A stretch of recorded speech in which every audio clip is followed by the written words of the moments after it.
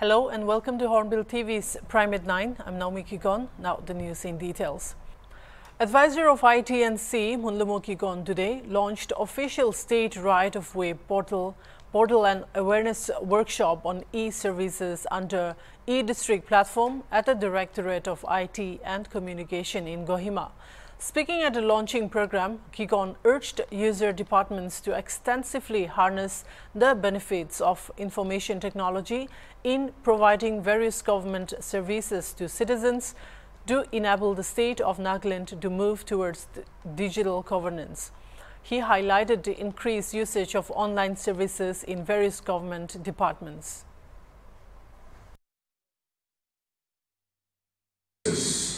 E-commerce and e-governance, online classes have increased significantly.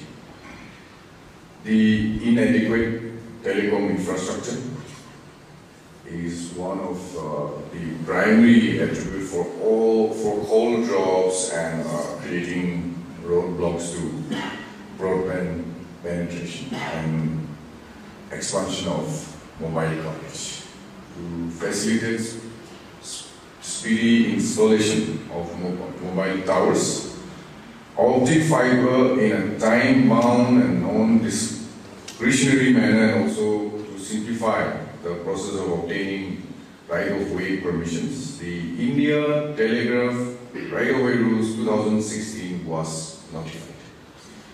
To, in compliance with the India Telegraph Right-of-Way uh, Rules 2016, A, a comprehensive guideline was notified by the government, state government, on 2nd December 2019, stipulating a set of standards for granting permission for installation of telegraph infrastructure, both overground and underground within the territorial jurisdiction of Nagaland. B. The online portal has been developed by processing of applications and issuing of permission by the officers and approving authority under the same guidelines. Principal Secretary INC KT Vizo said that due to the cooperation extended from all sections of society, the performance of the state in the country is often measured in terms of quality, IT services and electronic transactions.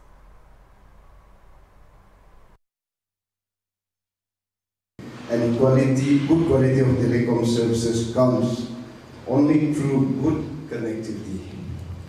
In the state of Nagaland, due to difficult terrain, inclement weather conditions and other factors, it is a big challenge to lay underground optical fibers and therefore the state is slowly moving towards aerial optical fiber connectivity along power transmission lines and wireless connectivity.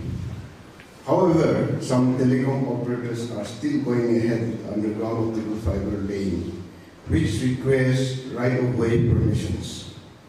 Even the aerial optical fiber connectivity along power transmission lines, there is a need for all the telecom operators to obtain right-of-way permission from the state government.